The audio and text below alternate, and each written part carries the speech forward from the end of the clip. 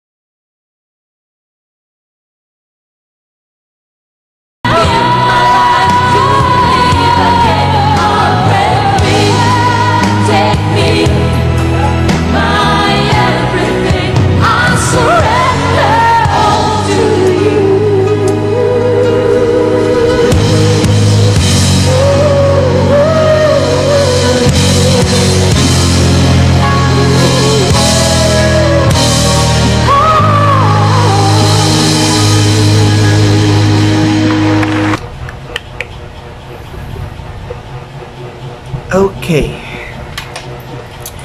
Uh, that is Siti Nur Haliza of Malaysia. And I could say that um, my friends in Malaysia are correct that this girl can sing and this girl is also amazing singer and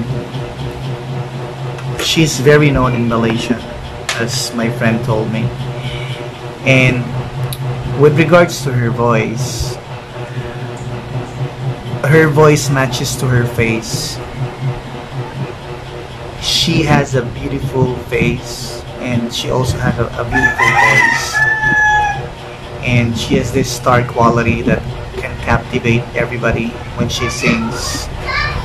And what I like about her is that she's just relaxed. I surrender it's a, a, um, a hard song. But she was just relaxing all throughout the song. And she has this angelic voice. Like I've said it matches to her face. And the runs are good. And the performance on stage is on point. and she's just enjoying herself on stage. And she's really I could say that she's really a professional singer and I can say that that's the reason why she's famous in Malaysia because she she inspires everybody, most of the people in Malaysia because of her talent and her singing voice. And not only in Malaysia, like I've said, she's also famous some parts in in Asia. And I would say that she is a proud of um, Malaysian Malaysians are very proud of her, uh, are very proud of her um, because of her great talent. And not only she can she can share this talent not only in Malaysia but the entire world. And with that great look and with that great voice um, I could say that um, she has inspired a lot of people. And I think that's it for today. And uh, thank you for being with me. And uh, like I've said if you like this video don't forget to hit like and subscribe. And if you have requested videos that, that you would like me to react please comment that video below. And I'll try to get back to you guys.